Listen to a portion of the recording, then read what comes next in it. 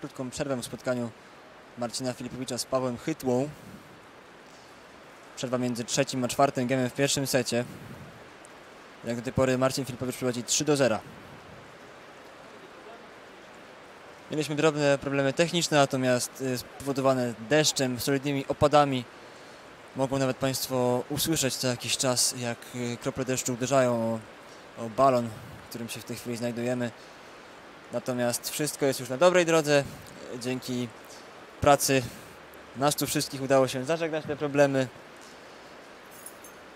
Ale później mieliśmy jeszcze drobne problemy z dźwiękiem, natomiast już wszystko jest zapanowane i myślę, że do końca będziemy już realizować dla Państwa tą transmisję. Podaje Paweł Chytła. 15-0 Paweł Chytła.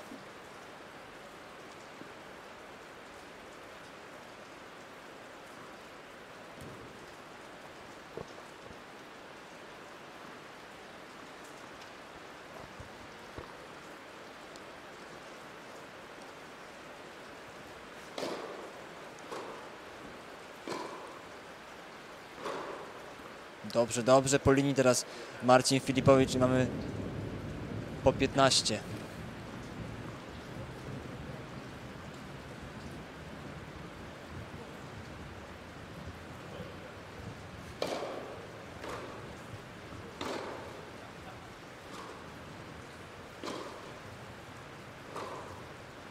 Jeszcze raz kapitalnie po linii Marcin Filipowicz i wyrzuca, wyrzuca swoje zagranie Paweł Chytła.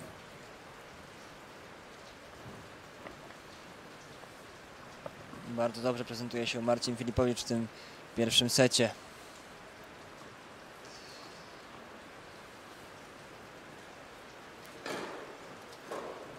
Paweł Chytła dobrze serwuje, natomiast Marcin Filipowicz znalazł receptę na Pawła Chytła. Widać, że widać, że dobrze czuje się dziś na korcie Marcin Filipowicz.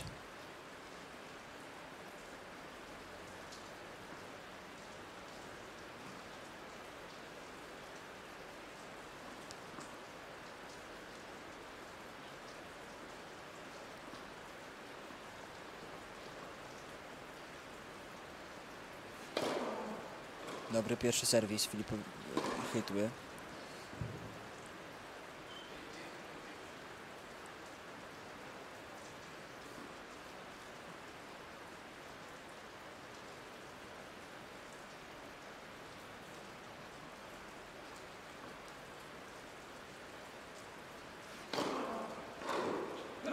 Ależ teraz, ależ teraz fenomenalne zagranie Marcina Filipowicza. I mamy koniec seta 4-0. Marcin Filipowicz wygrywa w pierwszym secie. Nie pozostawił przeciwnikowi żadnych złudzeń.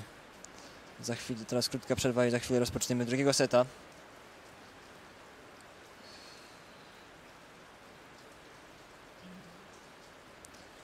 Na razie zawodnik Wrocławia nie ma nic do powiedzenia w spotkaniu z Marcinem Filipowiczem, który pochodzi z Poznania, ze stolicy Wielkopolski.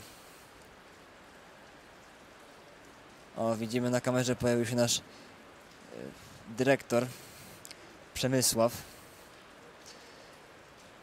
Przed zamienić kilka słów z sędzią, z Maksymilianem Kłękiem.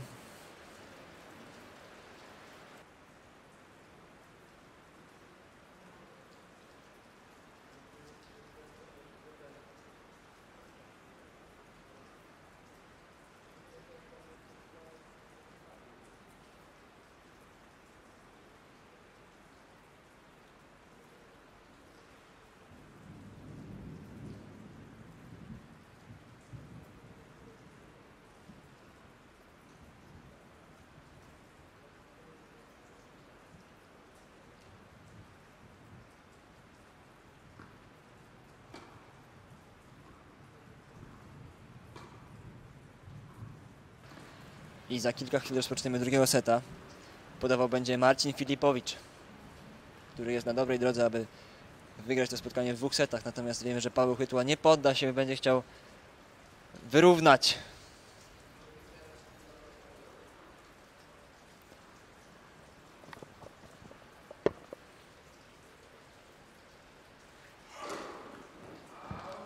Out, wyrzuca, wyrzuca swoim pierwszym podaniem.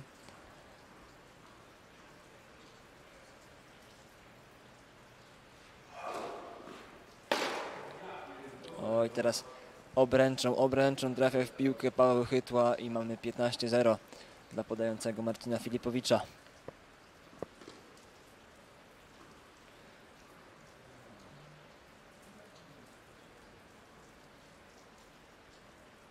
Jeżeli Marcin Filipowicz utrzyma dobrą zagrywkę i nie da się przełamać, sądzę, że nic nie będzie w stanie go powstrzymać przed awansem do półfinału naszego turnieju w Katowicach. Ale teraz pierwszy serwis posyła prosto w siatkę.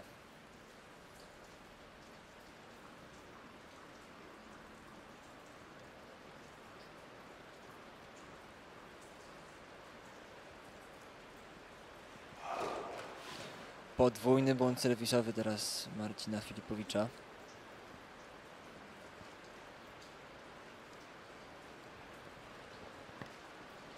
Mamy 15 do 15 w pierwszym gemie drugiego seta. Przypomnijmy, że pierwszego seta Marcin Filipowicz wygrał pewnie 4 do 0.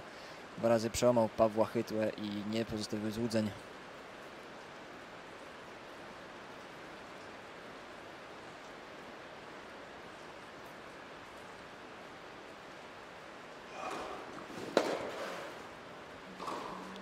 Teraz dobrze rozrzucił tym serwisem i nie miał problemów, aby szybko zakończyć tę wymianę. 30-15 Marcin Filipowicz.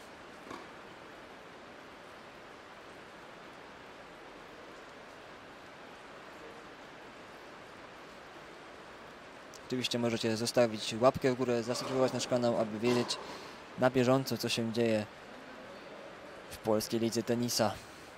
Za- tydzień będziemy mieli przerwę, natomiast za dwa tygodnie odbieramy kierunek Wrocław.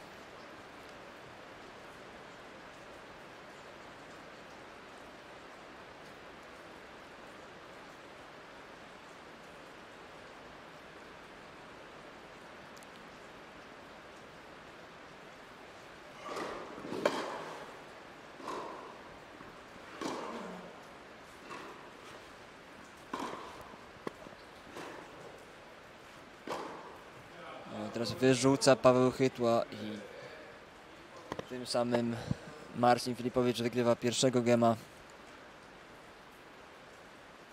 Teraz podawał będzie Paweł Chytła, ale to po krótkiej chwili na uzupełnienie płynów. Po krótkiej przerwie. Znów widzimy na obiektywie kamery Przemysława.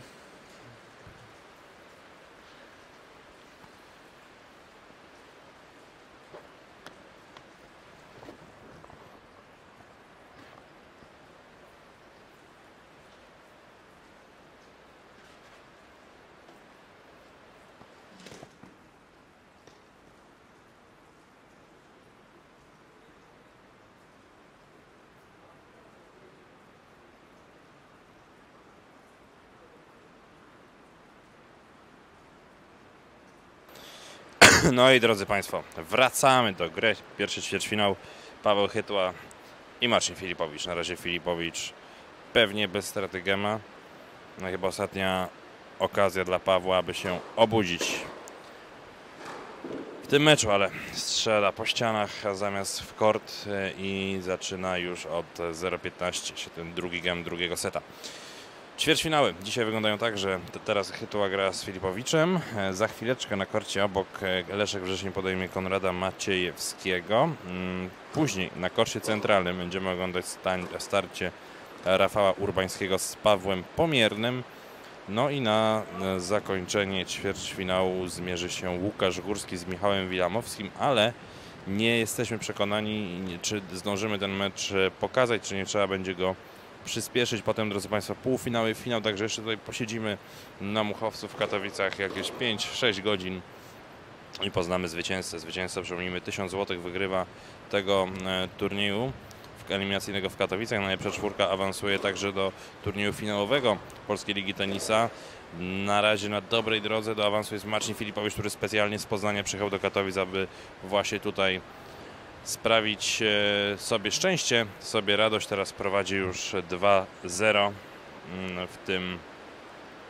Nie, jeszcze nie, jeszcze nie prowadzi. Jeszcze utrzymuje się przy tym e, podaniu Paweł Chytła. Filipowicz, przypomnijmy, ogromną niespodziankę sprawił przed tygodniem na kortach parku tenisowego Olimpii, kiedy to wyeliminował w jednej ósmej finału Rafała Palińskiego, mm, zawodnika, który wygrał z kolei turniej eliminacyjny w Warszawie dwa tygodnie temu. No ale potem Filipowicz trafił na Pawła Dzikiewicza, późniejszego zwycięzcę eliminacji w Poznaniu i odpadł w ćwierćfinale. Teraz w ćwierćfinale prowadzi 4-0-1-0 i teraz, yy, żeby było tego mało, no to podwyższa jeszcze to prowadzenie na 2 do 0. Na 2 do 0. Poznaniak e, prowadzi i pewnie zmierza po półfinał. Rozpadało nam się w Katowicach na Muchowcu. Zmieniliśmy nawierzchnię, a że zmieniliśmy nawierzchnię z na nawierzchnię, e, która popularnie jest nazywana sztuczną, sztuczną trawą, no to musieliśmy także oddelegować na to spotkanie sędziego, bo tutaj już e, śladów Ślady pra, wprawdzie zostają, ale dość szybko y, znikają, często się zamazują, więc sędzia jest w takich warunkach potrzebny. Maksymilian Marek Teodor Kłęk, który wcześniej był komentatorem, teraz zasiadł na wieżyczce i sędziuje to spotkanie. Podaje Filipowicz. Pewnie kroczy do półfinału. Naprawdę Marcin Filipowicz y, gra bardzo solidny tenis. Proszę zresztą zobaczyć, jak strzela sobie, pozwala sobie już nawet na takie strzały na wyprostowanej ręce. Zobaczmy to na powtórce.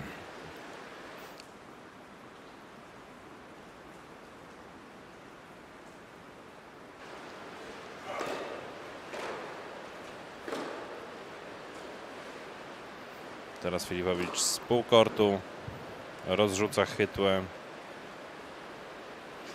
Bardzo szybko ten gem przebiega pod dyktando Marcina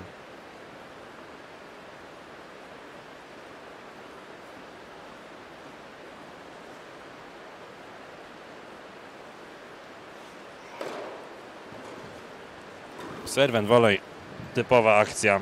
IGEM 3-0, Marcin Filipowicz.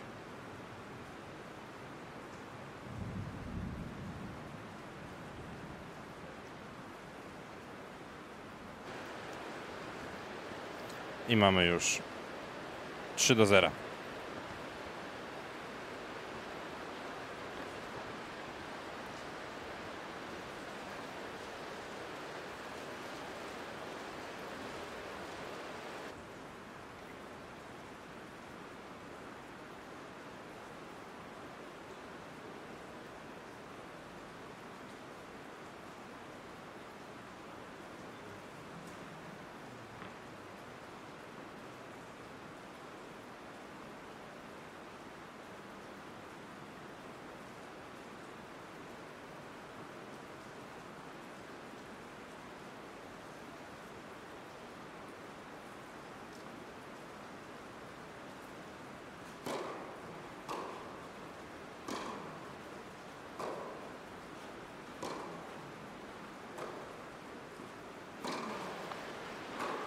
Zero cztery zero trzy podaje Paweł Chytła.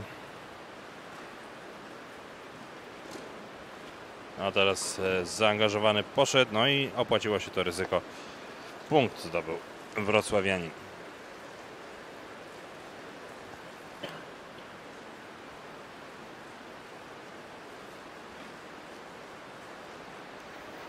A tymczasem na korty zmierzają już trzej zawodnicy, którzy w deszczu widać byli po jakieś napoje izotoniczne w pawilonie obok. I Maciejewski, Górski oraz zawodnik z Olkusza, Paweł Pomierny, który za chwilę wejdzie tutaj na kort centralny, zmierzyć się z Rafałem Urbańskim. Zmierzają w kierunku kortu no, w tej chwili już centralnego, bo tak chyba możemy nazwać e, ten kort, na którym rozgrywa się mecz Chytła Filipowicz, bo leje coraz mocniej i już raczej na 95% nie uda nam się wrócić na ten pięknie malowniczo położony kort zewnętrzny. Ale oba korty dzieli jakieś 15 metrów linii prostej. To też nie jest to żaden problem, by rozgrywać tutaj mecze. Choć zawodnicy skarżyli się na to, że od e, pół roku nie grywają już na takiej nawierzchni. No ale my na pogodę rady nie mamy. Za chwileczkę zatem po tym spotkaniu e, na kort wejdą Rafał Urbański i Paweł Pomierny. W starcie zawodnika z Zabrza i zawodnika z Olkusza. Myli się niestety Paweł Chytła, a tak ładnie zagrał mecz w jednej ósmej finału. Przypomnijmy, że to był mecz, który trwał godzinę 40 minut i Paweł Chytła mierzył się w nim z Rafałem Tkaczewskim. Przegrał, e, wygrał 2-4, 4-3, 11-9, będąc już praktycznie pod kreską, ale jakoś się przebudził i był w stanie ten mecz wygrać. A teraz game, set, mecz Filipowicz 4-0, 4-0 i za chwileczkę wywiady z oboma zawodnikami. Mam nadzieję, że przeprowadzi je Maksymilian Kłęk, który jest, był w tym meczu sędzią i on doskonale widział każdą piłkę. I on tutaj sobie z Pawłem Chytą i Michałem Filipowiczem, e, przepraszam, e, tak, e, z Chytą i z Filipowiczem sobie urządzi krótką pogawędkę. Bardzo szybki, przyjemny mecz, który sprawił, że nadrobiliśmy mocno dużo czasu. I w tej chwili będziemy, mm, będziemy jesteśmy bliżej tego, by pokazać Państwu starcie także Wilamowski Górski na korcie centralnym. Ale póki co czekamy na spotkanie Urbański Pomierny. To spotkanie za około 4 minutki na naszym na naszej antenie. Do usłyszenia. A teraz wywiady oczywiście Maksymiliana, Marka, Teodora Kłęka e, z zawodnikami tego spotkania.